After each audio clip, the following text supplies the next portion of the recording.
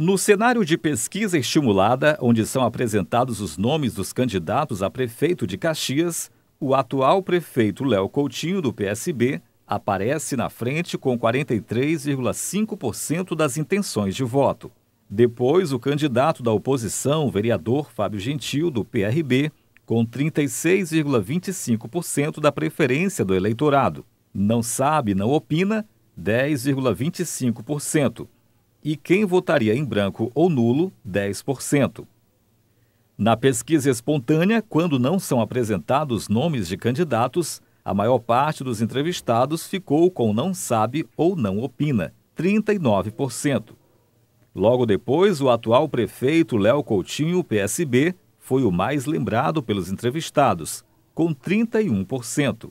Em segundo, vem o vereador Fábio Gentil, do PRB, com 15% das respostas do eleitorado.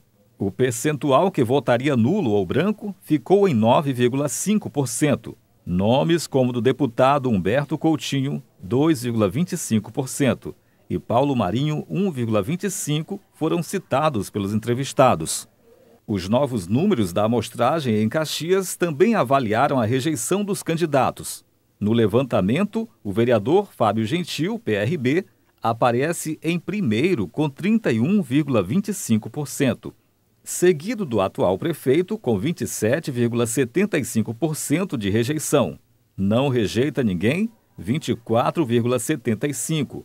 Não sabe, não opina, com 16,5%. Brancos e nulos, 3%. A pesquisa foi realizada pelo Instituto Amostragem, que ouviu 400 eleitores de Caxias entre os dias 6 e 7 de agosto. Segundo a amostragem, a margem de erro da pesquisa é de 4,8 pontos percentuais para mais ou para menos.